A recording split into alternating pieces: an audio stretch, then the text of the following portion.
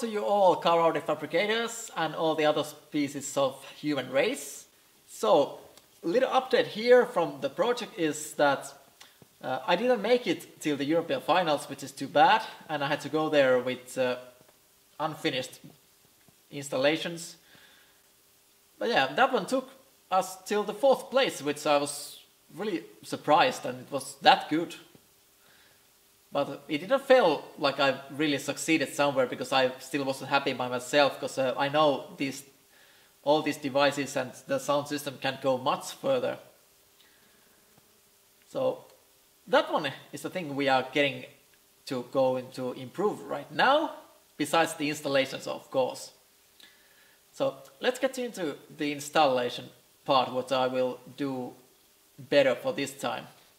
Ah, not that soon fellows, because first we're gonna have some little fun with it.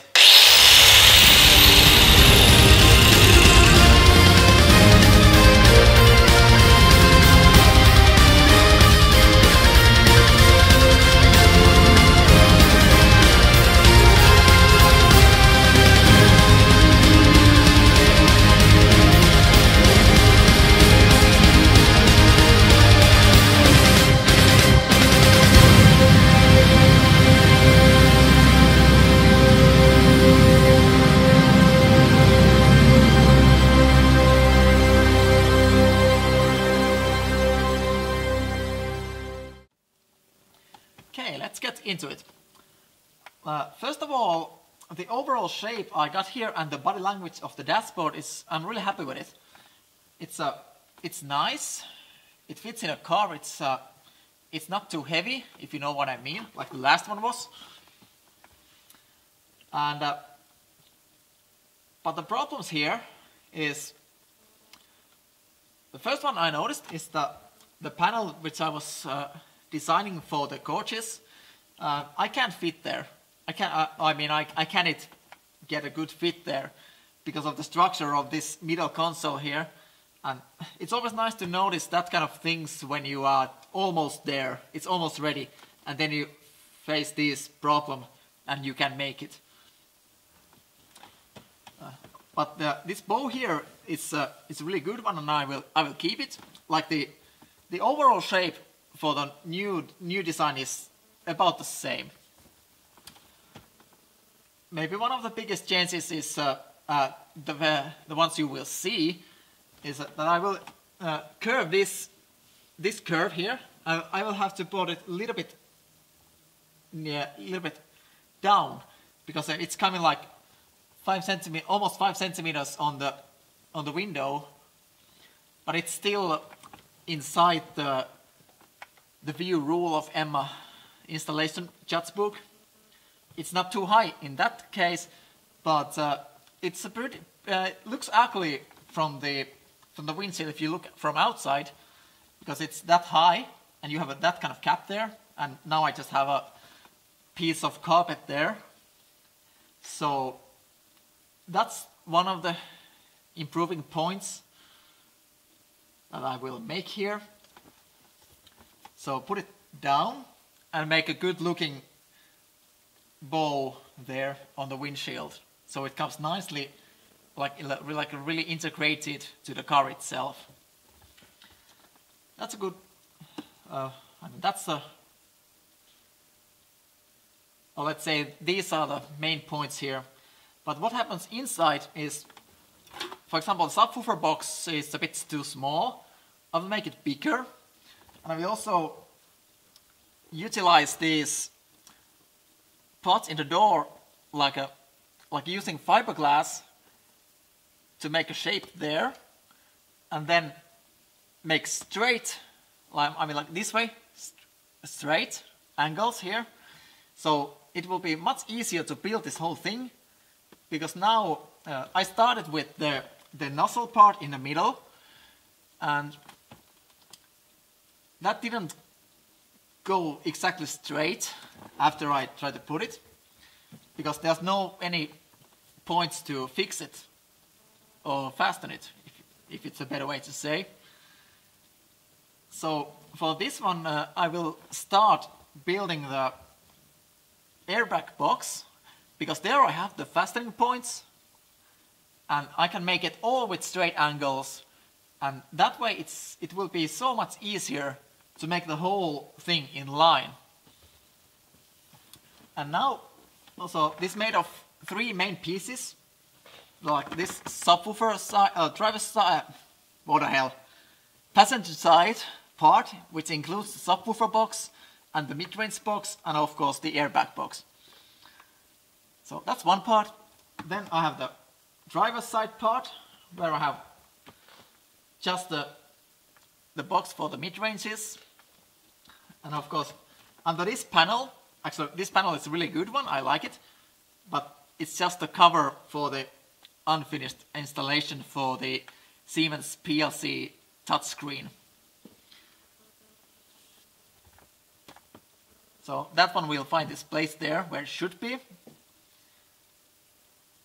So this side is much lighter that way and there won't be not any critical changes here except of course this edge line here it will be following the door exactly. And also I can uh, utilize from this side to make the structures here to be in the same line.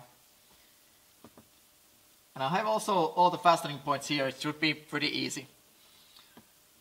Uh, and then the middle part that has all the structures for the holding the panels and I mean the head unit panels and so on, the nozzles and the coaches stand. And it also includes these cheeks here.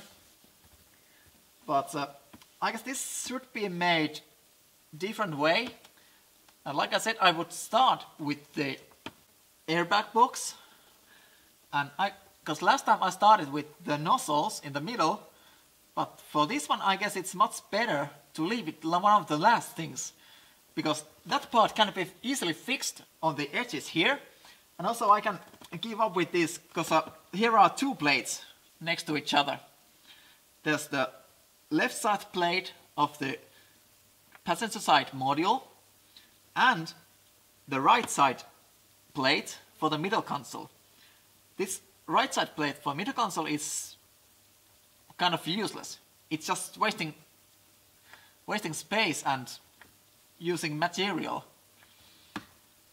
So like especially on the downside here, I could I could utilize that volume that is now taken.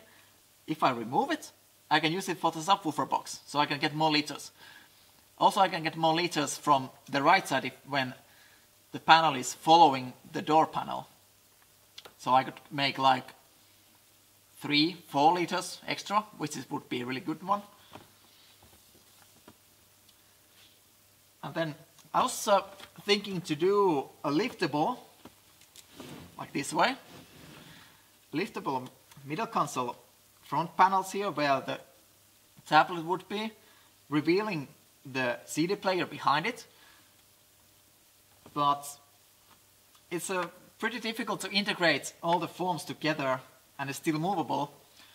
So I think uh, I will change the installation for the tablet a bit. And it would be like a, I'll try to make it with slide effect, with, uh, I mean the slide function and magnets. I can, I can slide it a little bit left and then I could be able to twist it and take it out. And for that one, I could also use that the head unit would be behind it. I, I mean, the CD player would be behind it. it. It's really, really quick to change. It looks good and just fun. Maybe not as fun as the linear motor raceable lift here. But maybe it's better to not to try too difficult things and then uh, I could also use in the in, in the the PLC inputs for something else than the lift itself. Or I can use the lift somewhere else, maybe, who knows? If I can come up with something nice ideas. So, and then the top part, I could also make, uh, uh, I mean, I should make the coaches panel first, and then form this hood for it. and then it fits seamlessly and it should be looking really good. The, also, uh, the overall shape of this hood is really good and I will do it again like in the same way because uh, it's it's very close to the Volvo original forms especially with the newer models than this one. And it's also a lot of same thing uh, same kind of body language as the the model of this car itself. So maybe that's it. And so let's start with taking the module out and try to build the new airbag box for it. Here I have a rough cut copy of the blade of the this uh, passenger, passenger side module. And I made it a bit bigger because so I have a little space there to work with it. And now I should take the final form of it for the for the curve here. And I'm going to be using this adjustable curve just because uh, I have some already templates there, but uh, none, none of them fit perfectly, so this one is a good tool for it to make it exactly what I want. So I, I tried it already a few times, so it should be pretty good now. So let's see. Put that end just there, and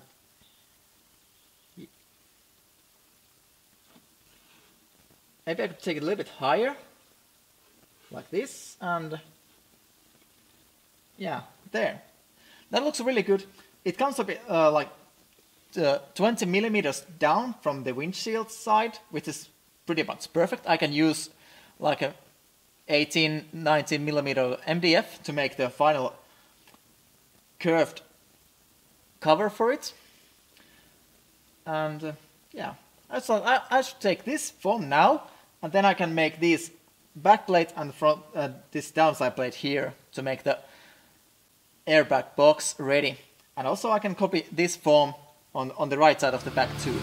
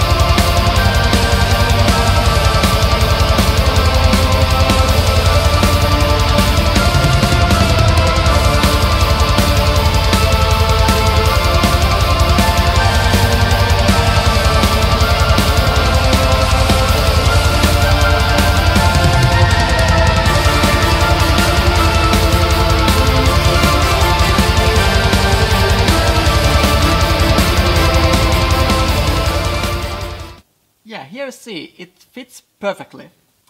So it's a, from the here it's the same place than the old one, but in the end it comes like 10, 10 millimeter lower, that's good. It's really good.